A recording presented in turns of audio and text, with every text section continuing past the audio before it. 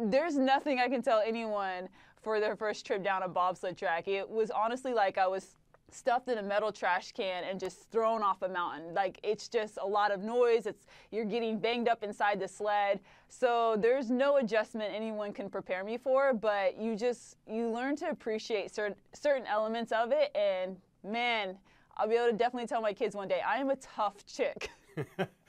Hurdling isn't easy either at high speed. Which do you prefer of the two?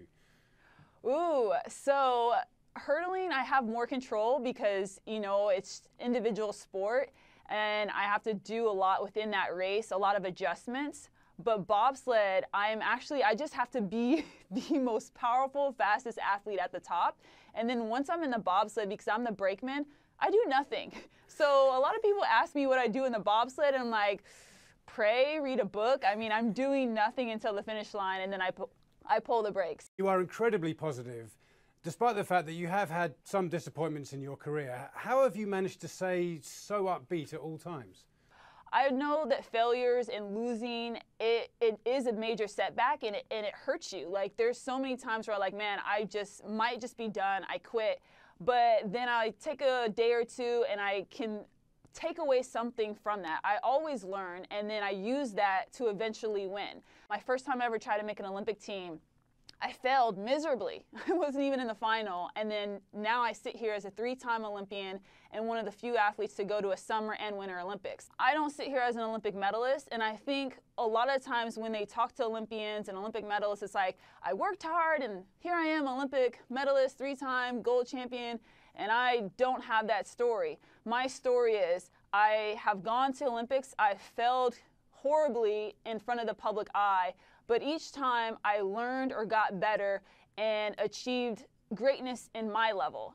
I know you're involved in the Girls on the Run project. What is your sort of perspective of female athletes in sport and how well you're respected and how successful you can be? Well, that's a that's a really loaded question. I think for female athletes in sports, it's evolving because for so many years we didn't have actually the chance to compete. And there's still areas where we're trying to break through. Even in the bobsled, people every day ask me, oh, are you on the four man bobsled team? Well, right now, women were in the Olympics, we're only allowed to compete in two man, and we're trying to get the four man bobsled crew into the Olympics. So, women, female athletes are still trying to progress as we go into the sport.